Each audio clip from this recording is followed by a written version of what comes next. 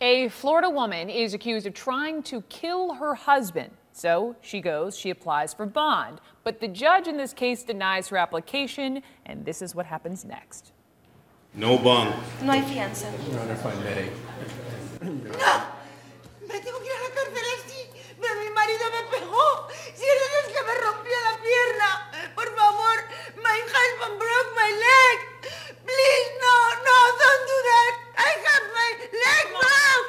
I, no, please, don't do that. Don't do that.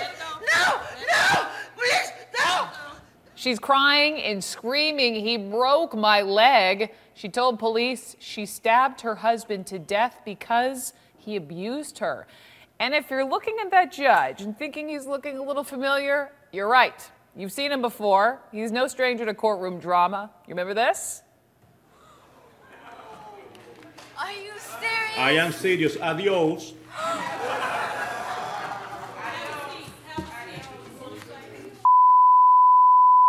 Come back again.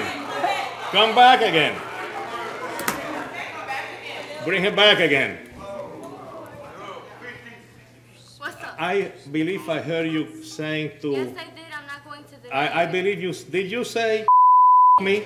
Actually, I Did you say that? Yes, sir. I did. Oh, you did say that? I find you in direct criminal contempt. 30 days in the county jail.